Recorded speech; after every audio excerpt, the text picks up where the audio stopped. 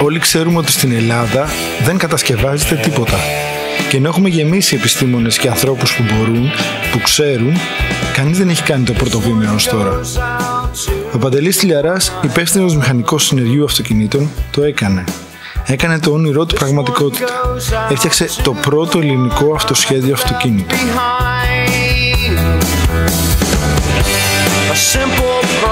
Ήθελα να φτιάξω το δικό μου αυτοκίνητο. Όμως χρήματα και στρώσορε δεν υπήρχαν, μα μόνο μεράκι και πείσμα. Για να δω πόσο καλό ήταν, έπρεπε να τρέξει σε αγώνες. Το αποτέλεσμα μας εξέπληξε όλους.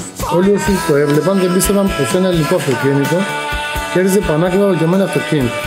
Τελικά αυτό που κατάλαβα είναι πως το μόνο που χρειάζεται είναι μεράκι και πείσμα. Όλοι μας μπορούμε γιατί και μεράκι και πείσμα έχουμε.